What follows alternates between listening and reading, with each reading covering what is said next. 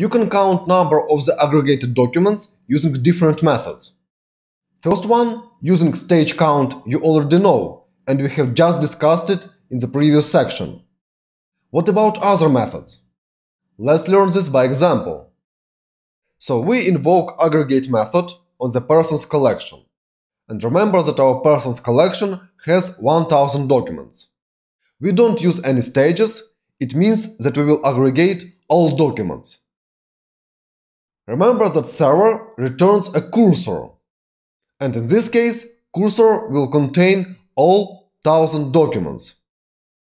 We can convert this cursor to the array using toArray helper method. We invoke this method and then we can use its property. In JavaScript, length is a property of each array. And it means that in this case, this long command will return us number of the documents in the cursor. This operation will take about 1,7 seconds, and it will return us 1000. Let's look at the next count method, db.persons aggregate and then itCount method.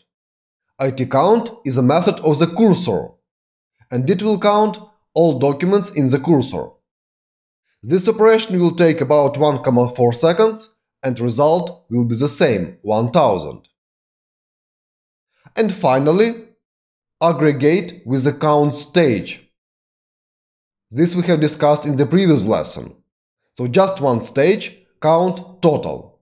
And attention, this will take about 200 milliseconds, and result will be an object with a key-value pair, total and number of the documents, that is 1000. What is the difference between those three methods? Why first two take so long and the last one is so quick? Answer is simple. First two methods are client-side methods. And in those cases, we iterate through the cursor till the end on the client side. And that's why it takes so long. In the last example, server performs count operation and returns us back just result, total 1000. It will not return us any documents, just count. That's why this method is so quick. But what about count helper method that we used in a find method? Let's compare this method to the count stage in aggregation. So in aggregation, result is 200 milliseconds and we get 1000 documents. What if we just use db persons, then find with an empty query and count helper method? Result will be 1000 and, surprise, it will take same time. There are two conclusions here. First, both operations are performed on the server, and server returns as result.